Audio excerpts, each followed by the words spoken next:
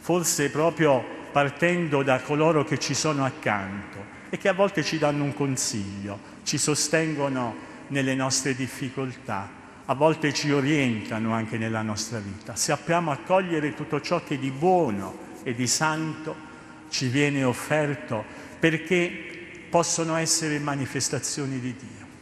E anche nell'esperienza di accogliere coloro che noi non stimiamo, che non reputiamo persone all'altezza, anche attraverso di loro, perché no?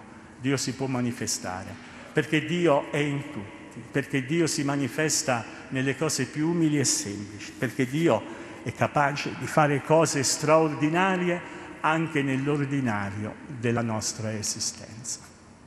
Questo era lo sguardo di San Francesco, quando amava e lo esprimeva in tutti i modi, anche attraverso quel cantico meraviglioso che ci ha lasciato, quando guardava e amava tutte le creature, per cui tutte potevano essere espressione di quel Dio che è creatore, che è padre, ma che è redentore e che si è manifestato proprio attraverso il Figlio Gesù che ha condiviso la nostra esperienza terrena.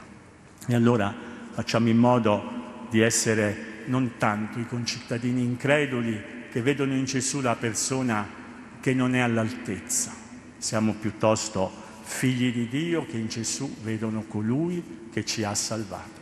Sia lodato Gesù Cristo.